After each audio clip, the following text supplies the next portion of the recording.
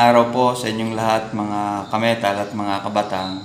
Ah, ngayon po, isi-share ko sa inyo yung atin pong ginawa na folding drying rack clothes.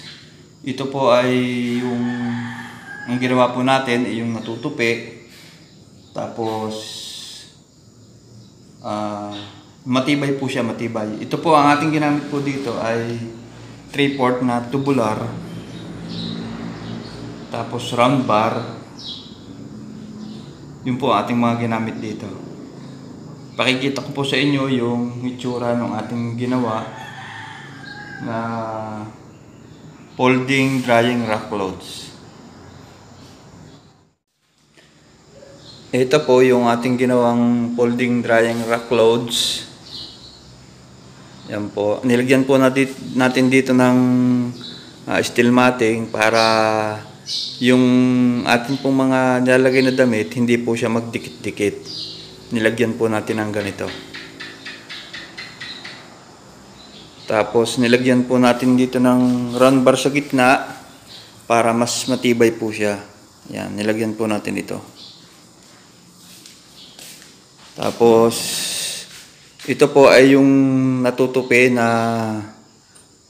folding drying rack loads. Ito po yung natatanggal yan. Tatanggal po siya. Ganon din po dito sa ilalim.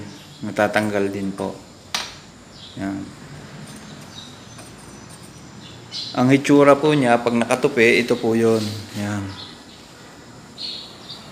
Kung bawa po hindi nyo gagamitin, pwede nyo itupi. Tapos ilagay nyo lang sa sandal nyo lang po sa mga pag hindi nyo gagamitin, yan po, nakatupi po yan.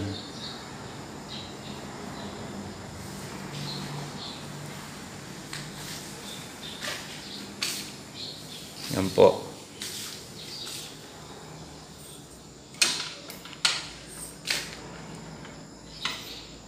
Bale, ang nagamit po natin ditong materyales ay dalawang 3-port. Hinati lang po natin. Hinati po natin sa uh, 5 feet by 4 feet.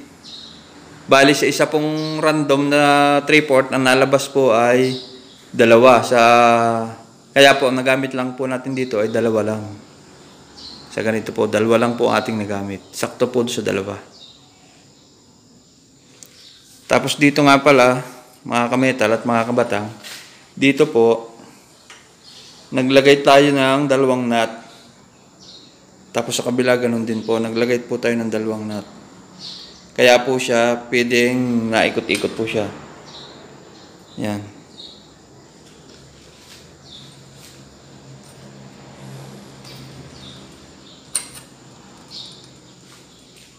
Yan po.